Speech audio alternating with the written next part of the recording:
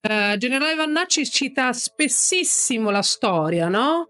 E cita spessissimo la lettura della storia e il senso della storia. Bene, se io la saluto e le dico uh, Jawohl, mein che cosa le viene in mente? Una simpatica guida, generale Vannacci? O le viene in mente che la storia ci ha imposto che un termine bellissimo è condottiero, guida, da quando è stata attribuita al cancelliere tedesco uh, è, è, sta, è diventato un termine impronunciabile se si accosta ad un uh, uh, leader, per esempio soprattutto tedesco naturalmente, ma in generale è un termine quindi bandito, nonostante il, nella lingua tedesca significa una cosa bellissima, che è guida, che è condottiero. La storia ha un peso e marchia le parole. Se lei decide di proclamarsi camerata con tutti i modi in cui un generale, un militare può proclamarsi, lei sta scegliendo dei termini per ricordare una certa specifica storia.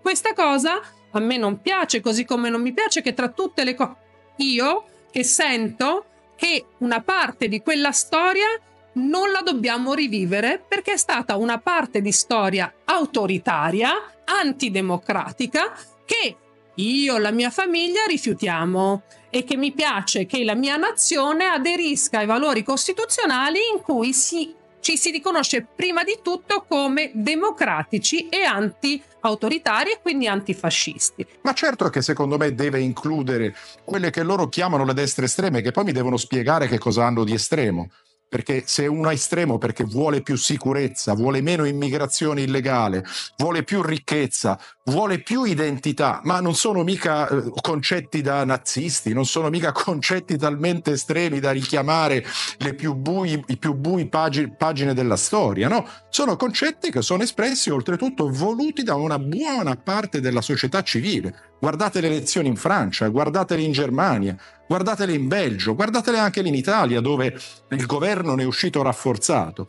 Non, è, non, sono azioni violente, è quello che la gente vuole e c'è poco da manifestare. Cioè la manifestazione contro la democrazia fa ridere. Questa è pura democrazia, è l'espressione più alta di quella che è la democrazia, il voto dei cittadini. E la gente, tutti quelli che mi incontrano, mi dicono hai ridato speranza alle persone. Ed è quello che hanno detto esattamente gli intervistati francesi.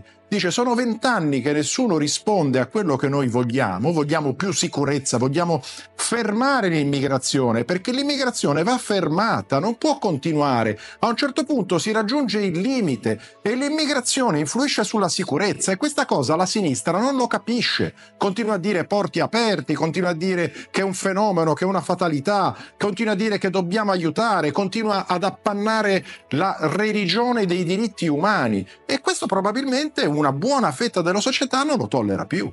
Questo è il risultato del voto dal mio punto di vista e fino a che non ci saranno delle risposte concrete continuerà a spostarsi da quella parte. Perché se le risposte che propongono sono tasse patrimoniali, tasse di successione, apriamo i confini, addirittura ci, ci, si sono inventati adesso il, eh, il, migrante climatico, l'immigrato climatico, il diritto di, di, di, di immigrare da un punto di vista climatico, come se non bastassero quelli che già ci sono, non sono risposte che si aspettano i cittadini. I cittadini si aspettano più sicurezza, più ricchezza, più possibilità di sviluppo, più studio, più sanità. Questo vogliono i cittadini di una nazione. E gli elettori fanno, eh, i politici fanno il contratto con i propri elettori, non lo fanno con l'umanità, con la terra o con le altre persone. E quindi ne rispondono direttamente.